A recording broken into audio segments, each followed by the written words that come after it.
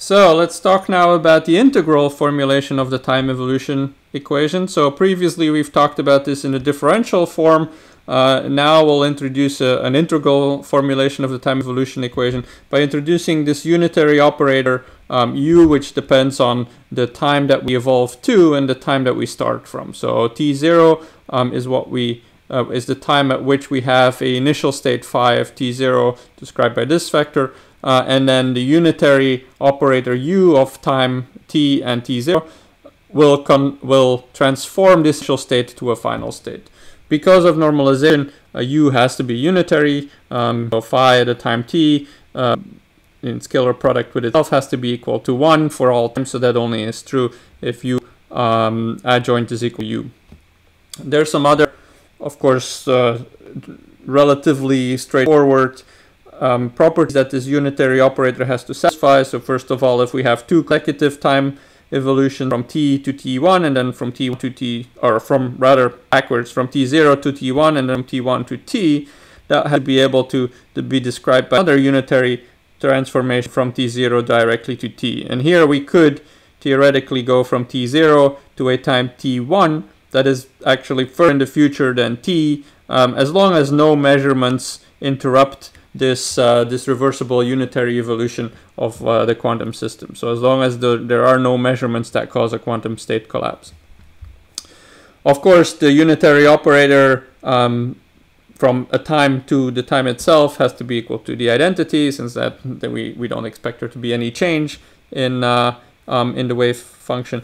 And the inverse of uh, an operate of this unitary operator. If we go, if we look at the unitary operator from a time t2 to a time t1, that will be the inverse of the operator from a time t1 to t2.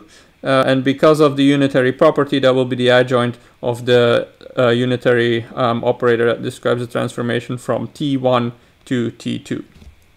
Now, if we have this unitary operator that describes the changes uh, from one um, from one vector state to another vector state in time, uh, those will have to satisfy, that, that means that this unitary operator will have to satisfy the, the differential equation as we described earlier in the, in the fourth postulate. So if we plug this expression into the, the differential expression for the time evolution equation, then we'll find the differential equation for the unitary operator itself. So the time derivative of the unitary operator will have to be related to the linear um, to the Hamiltonian multiplied with the unitary operator. And um, that also means that we can write our uh, Hamiltonian in terms of this uh, unitary operator, the time derivative, um, evaluated at time t0. So the Hamiltonian at the initial time will be uh, the time derivative of the unitary operator as expressed or as evaluated at that initial time.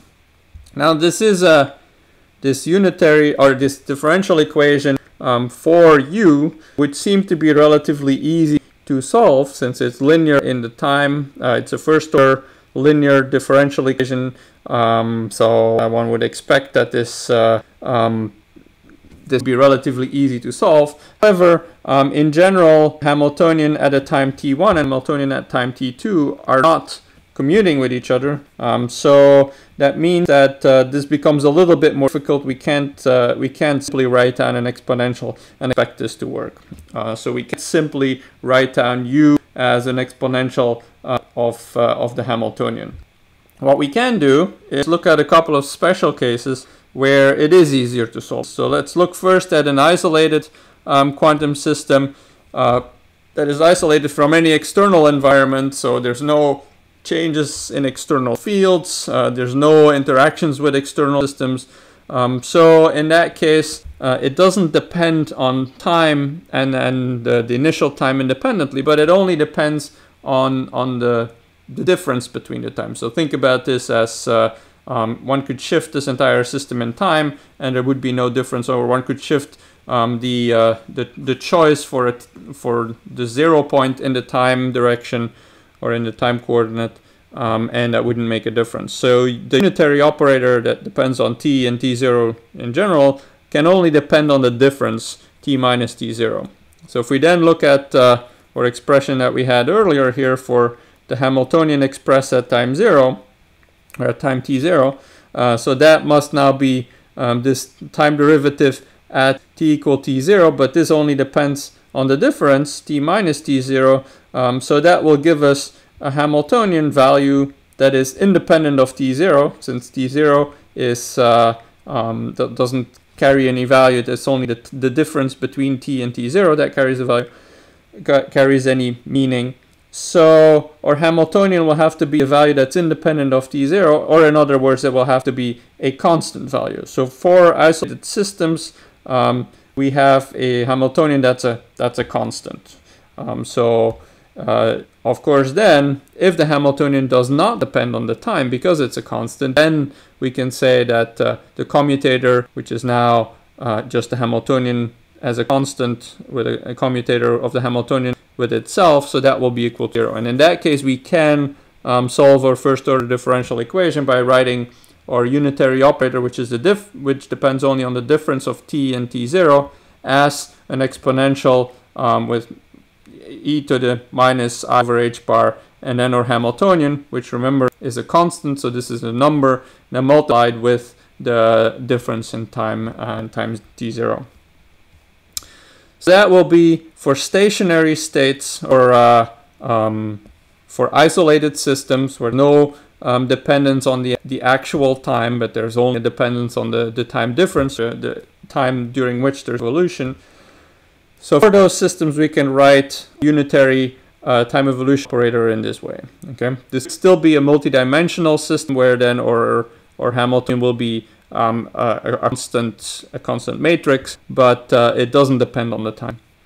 So if we now choose our time um, infinitesimally small, then t is equal to t0 plus some epsilon, um, then we'll have our, our uh, um, exponential will be uh, e to the minus i over h bar times the Hamiltonian times this epsilon. We can expand this around the identity. We'll end up with an, a, a small first order deviation from the identity where epsilon is multiplied with our operator h. This h, the Hamiltonian, um, is therefore called the generator of the unitary transformations in time or the generator of uh, time translations. Um, we'll see how this this language of generators comes back when we talk about both um, uh, momentum uh, and uh, when we talk about um, uh, angular momentum in particular as well. So the, remember, of course, that this ignores any second order higher um, effects, but the generator is the first order deviation from the identity um, that describes our uh, unitary transformations. So let's look at an example of uh, a time evolution of a system with dimension 1. So we're looking at, for example, a, a stable atom. Uh, it's, just, it's a system in dimension 1, so it's really just a phase. Um, the, the, the, the state of the system is described by phi of, uh, of t, where phi is just a complex number. It's not uh, it's not a vector, or, or, rather, it's a vector of dimension one, so it's it's just a complex number. So if we look at the phase, how this changes versus time, then we of course multiply, or we have our unitary operator here, which is again just a complex number, or Hamiltonian is a constant um, number instead of a, a, matrix, and it's just an, a number, the, uh, the energy. And if we then uh, um, write phi, we introduce our, um, our omega as, uh, as, as the ratio of E over H bar, then we just find that this changes our phase um, and uh, um, changes that with time with a frequency omega. Okay, this is all um, relatively straightforward, um, and I'm sure you've seen that before. Now let's look at evolution of a system with dimension n. So now we have n basis vectors. Um, let's assume first that we've uh, prepared or quantum system in a state that corresponds to one of its eigenvectors. So um, we could have done by measuring the energy of the system and we would have found the eigenvector n or we would have found the eigenvalue corresponding to the eigenvector n. Um, so we know that the system is in that uh, in that basis state, and then from that basis state we can describe the, the evolution by again having our operator um, here, and so now our, our Hamiltonian um, will uh, will have the the energy of that quantum state of that eigenvector E sub n there. And so the, the system will evolve with this unitary operator e to the minus i over h bar en multiplied with the time difference. Okay? Or uh, initial state phi at t0 is, is in this case just the um, eigenvector n. So now if we measure the probability of um, evolving or um, probability of taking a prepared quantum state in eigenvector n evolving through phi at the, at time t and then measuring a state chi, then um, that will just give us the, the you know, we'll, we'll take the scalar product of chi with phi at the time t squared. Um, we can work this out and then we'll find that this is equal to the scalar product of chi with the initial state phi at times t0 and this doesn't change with time. So that's why we call this um, a stationary state. If we have a system prepared in an eigenvector of the Hamiltonian, then the probability of finding any, um, of, of measuring any state in that, um, uh, of measuring um, that state in any state chi is constant with time, and so it makes sense to call it a stationary state.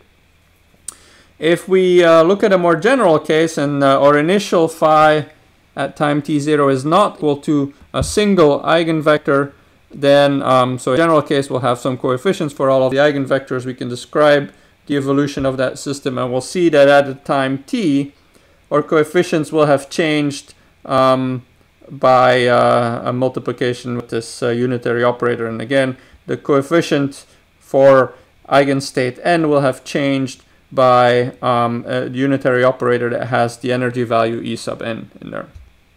Okay, so um, so that's uh, um, that's an overview of uh, the time evolution, both uh, in the uh, differential form as, as you saw in the previous video, and then in the unitary uh, matrix uh, integral form in this uh, this video. So next we'll go on to um, the Heisenberg uncertainty, this temporal domain, um, with something that uh, has to be treated a little bit differently than uh, how we've looked at Heisenberg inequalities um, between two uh, linear operators per uh, earlier postulates. So time evolution is somewhat different than um, the the operators that describe physical properties. So more about that in the next video.